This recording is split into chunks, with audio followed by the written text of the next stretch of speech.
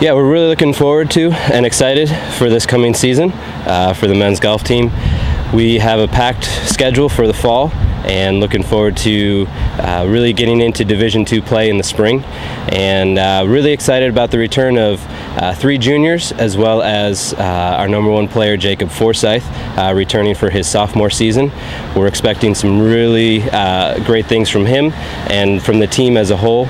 Our goal is to make the NCCAA national tournament here in the fall. We'll have to qualify. Uh, we'll have uh, several tournaments this September to get us ready and prepared for that in October.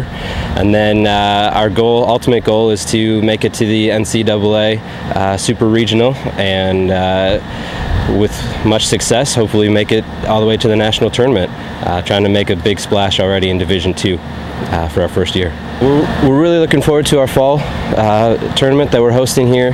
We're going to be at Green Country Club right down the road, and uh, we actually have four GMAC members, uh, member schools that are going to be coming and playing with us, and uh, Kentucky Wesleyan, Trevecca Nazarene, Urbana, uh, and Cedarville.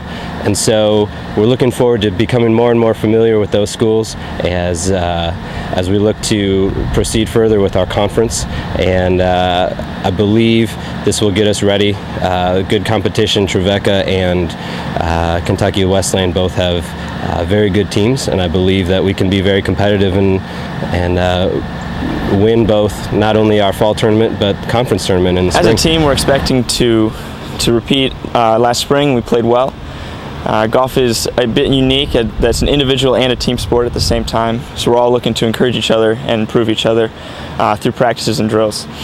Uh, moving to NCAA is exciting for us. We have a, a new schedule full of new tournaments, um, as well as playing different teams that we haven't played before, and that presents an opportunity to share the gospel in, in ways that we uh, have not in the past.